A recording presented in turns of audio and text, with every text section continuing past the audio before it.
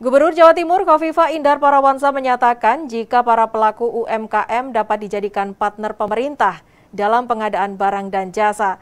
Hal ini seiring dengan target Presiden agar produk dalam negeri dan UMKM mampu lebih memiliki daya saing dan berkualitas. Dalam kegiatan penyerahan bantuan zakat produktif bagi pelaku usaha Ulatra Mikro di Kabupaten Ngawi Minggu 24 April kemarin, Gubernur Jawa Timur menyatakan jika para pelaku usaha dan UMKM harus terus meningkatkan kualitas dan kuantitas. Terlebih, Pemprov Jatim juga telah memberikan fasilitas pelatihan melalui Dinas KUKM Provinsi Jawa Timur. Pemprov telah menjalin kerjasama dengan salah satu brand toko online untuk membantu menjualkan produk hasil UMKM. Menurut Gubernur, saat ini Presiden Joko Widodo sedang mentargetkan produk dalam negeri dan UMKM bisa diakses oleh seluruh bidang atau dalam pengadaan barang dan jasa atau PBJ di kota kabupaten serta di provinsi melalui Biru PBJ. Secara total, kabupaten, kota, dan provinsi seluruh Indonesia dari pemerintah pusat ditargetkan 200 triliun dan dari BUMN 200 triliun rupiah. Total keseluruhan terdapat alokasi anggaran mencapai 400 triliun rupiah dalam pengadaan barang dan jasa.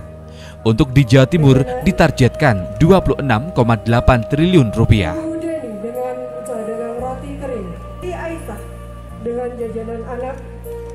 Saat ini Pak Presiden sedang mentargetkan produk dalam negeri dan UMKM bisa diakses oleh seluruh bidang kalau di kabupaten kota PBJ, biro kalau di provinsi PBJ, pengadaan barang dan jasa, total kabupaten kota dan provinsi se-Indonesia ditargetkan 200 triliun.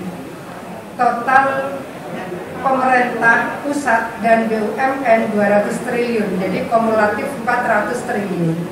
Di Jawa Timur sendiri ditargetkan 26,8 triliun.